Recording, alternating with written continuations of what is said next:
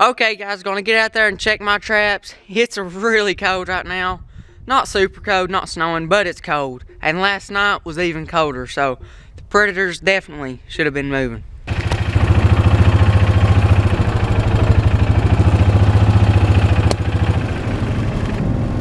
Uh-oh. Got him. Nice red. Now guys, this one is actually from my P-post set. First time ever setting a scent post set in my entire life. And I got one on the second day.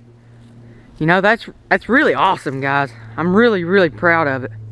I'm gonna here he is, nice back leg catch, right where he's supposed to be. A good little red fox. I'm gonna go on and get this guy out of the trap. Okay, so I got that red fox taken care of.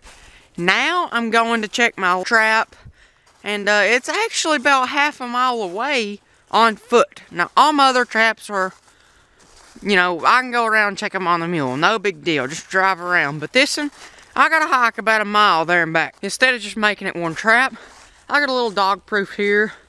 Gonna set this on my way. That way, I'm not walking a mile just for a chance at some kind of predator. Maybe I'll catch a possum, which possums are everywhere. Okay, so I decided to set my dog proof right here. There's a bunch of rocks right there and a high wall right there.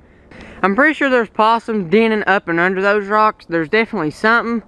I'm, I'm pretty sure it's possum though, because there's a lot of trees with bark scratched off. There's also there's also a bunch of trails come right down here beside that tree.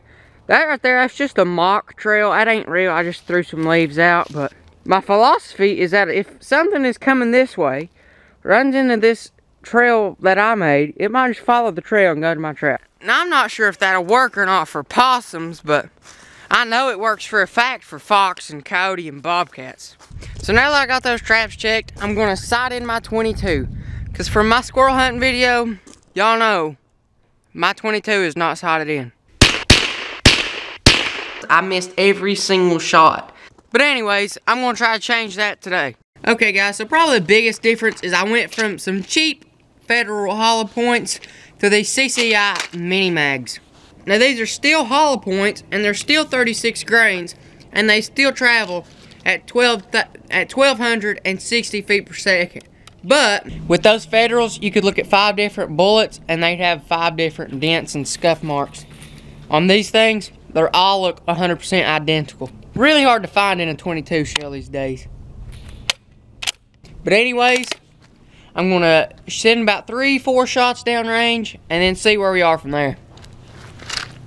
And before I shoot, yes, I did take this scope completely off and put it back on, tighten it up just to make sure that the seating wasn't bad.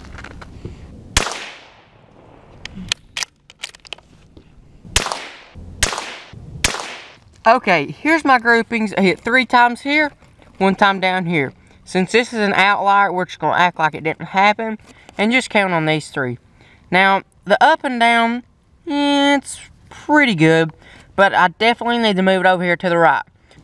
So since it hit right there, I'm gonna have to move my scope over to the left. All right, so it says at 100 yards, it's one click equals one fourth. I'm about 25 yards away, so that means one click is 1 16th of an inch, and I need to go over about a fourth, so I'm gonna click it four times to the left. One, two, three, four. Now, I'm going to shoot it a few more times, see where I hit this time.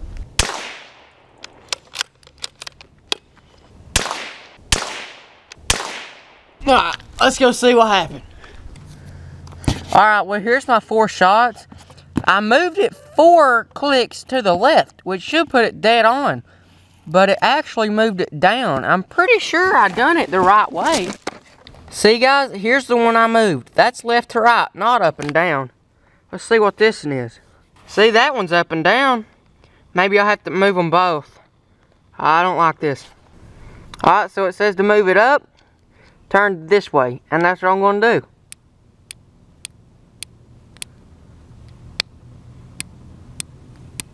There we go. That should move it a half inch. Now over here, it still needs to go left, so. That should do it. We'll see. Okay guys, well I've got to where I can hit about a group the size of a quarter. I'm gonna put one bullet in the chamber, take one shot at one little orange dot. If I can hit the dot, I'll, I'll call it good. Here we go. This is the last shot. It's the only one that counts. Here we go.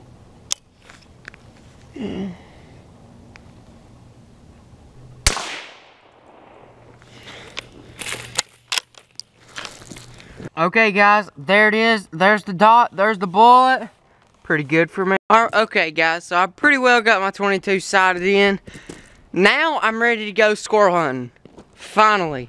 So, if everything goes to plan, you should be expecting a squirrel hunting video tomorrow.